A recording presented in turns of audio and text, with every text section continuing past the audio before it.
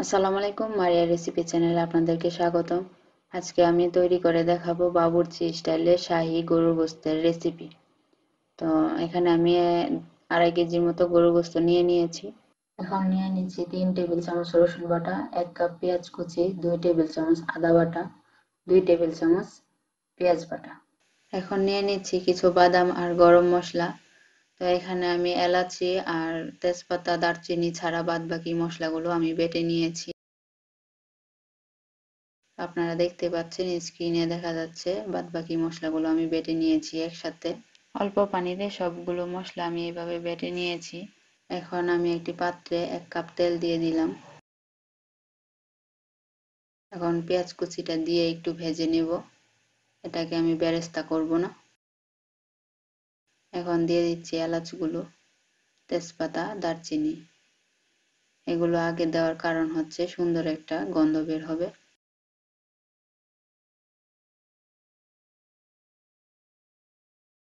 এখন দিয়ে দিচ্ছি বাটা মশলাগুলো।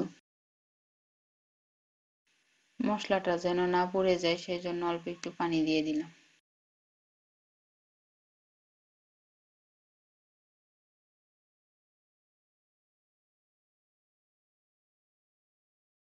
এখন বাকি মশলাগুলো সবগুলো একে একে দিয়ে দিব।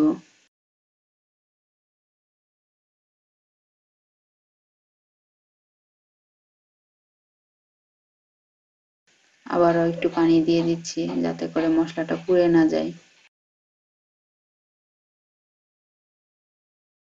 এখন দিয়ে দিচ্ছি পরিমাণ মতো লবণ। এখন দিয়ে দিচ্ছি দুই টেবিল চামচ মরিচ গুঁড়া, দুই টেবিল চামচ হলুদ গুঁড়া। ভালো করে মিশিয়ে নিচ্ছি। দেড় টেবিল চামচ ধনিয়া গুঁড়া, হাফ কাপ পানি দিয়ে দিচ্ছি, মশলাটা যেন পুড়ে না যায়। এখন মশলাটাকে আমি ভালো করে কষিয়ে নিব।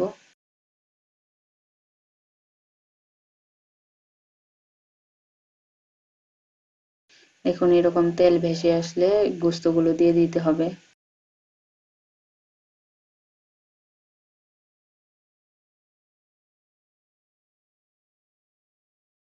মশলার সাথে গুস্তগুলো ভালো করে এইভাবে মিশিয়ে নিতে হবে।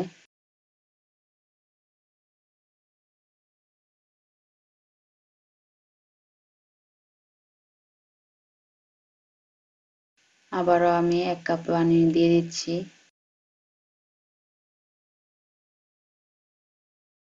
এখন ঢাকনা দিয়ে ঢেকে কিছুক্ষণ কষিয়ে নিব। এখন দিয়ে দিচ্ছি সেই বেটে রাখা মশলাটা। গরুর গোস্তে কাঁচামরিচ দেওয়ার মূল উদ্দেশ্য হচ্ছে আলাদা একটা ফ্লেভার আনা। তাই আমি কিছু কাঁচামরিচ দিয়ে দিচ্ছি। কাঁচামরিচ দেওয়ার কারণে একটা সুন্দর গন্ধ বের হচ্ছে। এখন আমার গোস্তটা সিদ্ধ হয়ে গিয়েছে। এখানে আমি দুই টেবিল চামচ জিরা গুঁড়ো দিয়ে দিচ্ছি। আমি আন্তরিকভাবে দুঃখিত, কারণ জিরা গুঁড়োটা উঠেনি ভিডিওতে।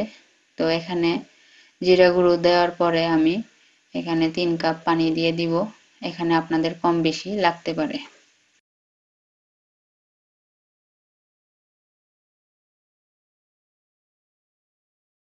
তৈরি হয়ে গেল বাবুর্চি স্টাইলে।